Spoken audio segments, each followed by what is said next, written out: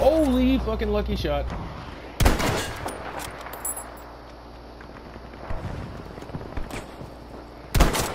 Oh my fucking god! Save me.